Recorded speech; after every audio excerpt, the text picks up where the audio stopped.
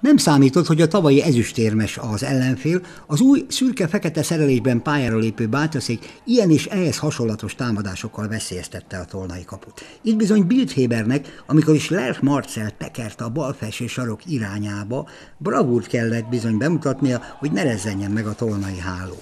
Az ebbéli mezőny fölénye a hazaiaknak a félidő közepére góllá.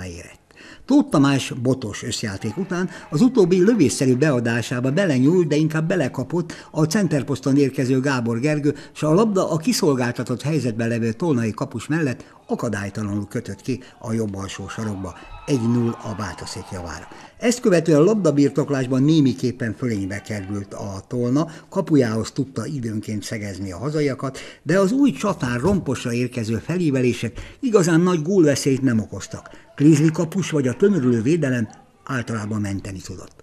A tolnai játékszervező Pál Ahilles, a támadó középpályás, egy személyben is veszélyt jelentett megoldásából, de mint ahogy most is, idejében érkezett a taktikai fault vele szemben az ellenfél részéről. Kiegyenlített küzdelemben is több gólveszélyt okoztak a bátaszéki támadások. Tóth Tamás elfutása után már levegőben lógott a második hazai találat, de a tolnaiak szerencsére nem volt érkező a beadásra, Botos lemaradt róla.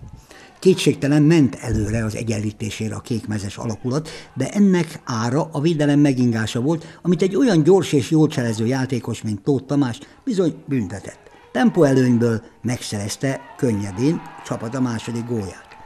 Nem dőlt el a meccs, hisz a játékrész derekán az általában már veszélyessé váló középre ívelések egyikéből gólt szerzett a tolna. Molnár Tamás középre emelése után ide-oda pattogott az ötésfeles környékén a labda, Pál Ahilles, ahogy mondani szokás, jókor a legjobb helyen volt, és már is kettő-egy éledezni kezdtek a tolnai remények.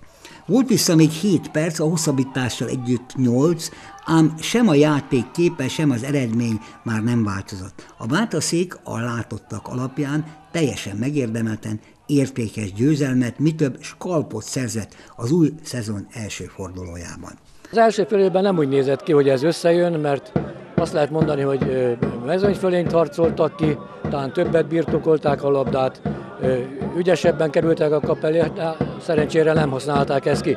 A második fél viszont váltottunk, és kértem, hogy bátran merjünk játszani. Az, ami a mi játékunk, hogy, hogy rövid passzal, sok mozgással, és úgy érünk a kiugratás után a, a Tóth Tamás a kap elé, és ezt megcsináltuk, és ez eredményre vezetett. A tolnában a védelem közepéről ezúttal meg kell állapítani, két kulcsjátékos is hiányzott, és Munkai elfoglaltsága miatt a veszélyes, gólerős csatár Szili sem állt Graca Tibor rendelkezésére. Az új edző mégsem ebben látja a vereség főokát.